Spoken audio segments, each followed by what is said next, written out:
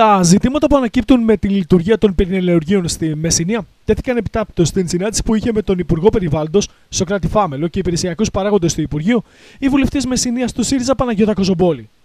Ε, το Υπουργείο λοιπόν μου γνωστοποίησε ότι έγιναν έλεγχοι και επιβλήθηκαν τα συγκεκριμένα πρόστιμα σε δύο από τις πέντε, mm. από τις πέντε ε, επιχειρήσεις, τα δύο, δύο από τα πέντε πενελουργία που εδώ θέλω να πω κύριε Κανελόπουλε ότι για να είναι μόνο τα, τα δύο που δεν τηρούν την νομιμότητα σημαίνει ότι υπάρχουν τεχνικές, υπάρχουν και τρόποι, φίλτρα ή ό,τι άλλο να συγκρατήσουν αυτό το μεγάλο πρόβλημα που υπάρχει. Και στο πλαίσιο αυτό μας ανακοίνωσε συγκεκριμένα βήματα που πρόκειται να κάνει το Υπουργείο, που έχει κάνει ήδη δηλαδή. Στην συνάντηση της κυρίας Κοζομπόλη με τον ε, κύριο Φάμελο, συζητήθηκαν διεξοδικά οι προτάσεις που κατέθηκαν από την Περιφερειακή Ενότητα Μεσσηνίας στο Περιφερειακό Συμβούλιο ως αποτέλεσμα της έκθεσης ελέγχου του Εργαστηρίου Δημόκτητος, αλλά και των μετρήσεων διαπιστευμένου εργαστηρίου, καθώς και οι πιθανές νομοθετικές πρωτοβουλίες για την εφαρμογή νέων τεχνολογιών αντιρρήπανσης από τις ομάδες αυτές. Το Περιφερειακό Συμβούλιο τέθηκε το, το θέμα τον Ιούνιο του 2017.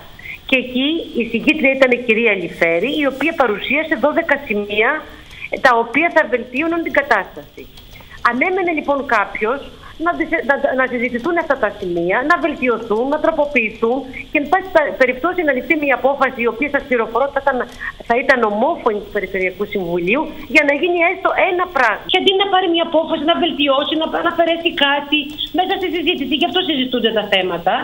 Ο κ. Ζατούλη είπε: Είναι δικό μου το θέμα, το αναλαμβάνω. Εγώ θα το λύσω με στη συνεργασία με το Υπουργείο. Το Σεπτέμβριο του 2017 πήγα στο Υπουργείο και έμαθα ότι δεν είχε γίνει καμία συνεργασία με το Υπουργείο και την Περιφέρεια. Τότε έκανα μία ερώτηση, να θυμίσω στην κυρία η οποία γράφει αυτή την ανακοίνωση με τις Ταρτάκες. Έκανα μία ερώτηση. Κάναμε δύο βουλευτές, Κωνσταντινές και Κοζομπόλη, και εγώ μαζί κάναμε μία ερώτηση στον Υπουργό Περιβάλλοντος και του είπαμε τι ακριβώς κάνεις και ποιες είναι οι αρμοδιότητές σου. Μας απάντησε ο κ. Φάμελο ότι κάνει συγκεκριμένους ελέγχους για την τήρηση της νομιμότητας παράλληλα με την περιφέρεια. Επειδή ξεκίνησε η, η, η περίοδος πάλι και όπως είπατε και εσείς, βλέπουμε αυτά που βλέπουμε, έγινε αυτή η συνάντηση με σκοπό να δούμε τι θα γίνει από την πλευρά του Υπουργείου πλέον. Γιατί από την περιφέρεια δεν έχουμε να περιμένουμε τίποτα.